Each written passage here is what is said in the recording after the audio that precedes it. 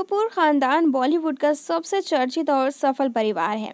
पृथ्वीराज कपूर से करिश्मा कपूर तक इस परिवार ने देश को दर्जनों कलाकार दिए हैं। इस परिवार के लोगों को देश और दुनिया में खूब वाहवाही भी मिलती है। वही इस परिवार के कुछ लोग ऐसे हैं जो कि हमेशा ही लाइम टाइम से दूर रहे हैं।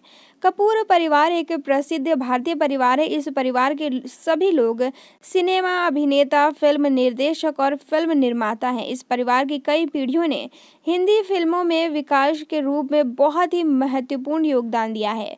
इस परिवार ने हिंदी सिनेमा और बॉलीवुड में बहुत सम्मान और लोकप्रियता हासिल की है। ये खानदान मुख्यतः पंजाबी हिंदू है। आपको जानकर ये हैरानी होगी कि एक तरफ़ तो लोग कपूर परिवार का बहुत ही ज़्यादा इज़्ज़त और सम्मान करते हैं तो वहीं इस परिवार के कुछ ऐसे डार्क सीक्रेट्स हैं जिनको आज तक छुपाए रखने में इस परिवार के बड़े बूढ़े कामयाब हो रहे हैं। पर अब धीरे धीरे ये काले कारनामे अब जनता के सामने आ रहे हैं। बताया जाता है कि पृथ्वीराज कपूर बहुत ही बड़े अयाश किस्म के इंसान थे और वो ज़्यादातर कुंवारी लड़कियों के साथ सोना पसंद करते थे।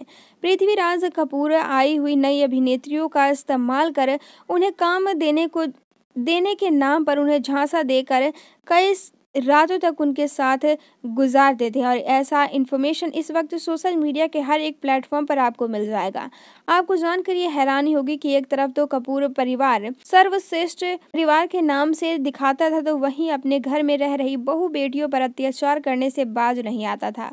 आज तक इस परिवार में आई हर एक बहू का सम्मान करने के बजाय इस परिवार ने उन सभी बहुओं पर अत्याचार ही किया है। जी हाँ दोस्तों, और इस बात का खुलासा खुद करीना कपूर और साथ ही करिश्मा कपूर ने किया था।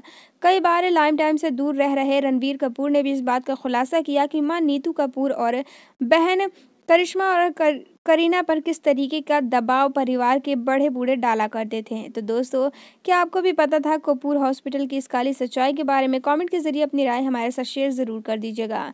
इस वीडियो के माध्यम से जो कुछ भी इन्फॉर्मेशन मैंने आपको दी है वो हमें सोशल मीडिया के माध्यम से प्राप्त हुई है। इस बात में कितनी सच्चाई है इसका पुष्टिकरण हमारा चैनल नहीं करता है और ना ही किसी भी तरीके की अफवाहों को फैलाना हमारे चैनल का उद्देश्य आपका कीमती समय देने के लिए हमें धन्यवाद।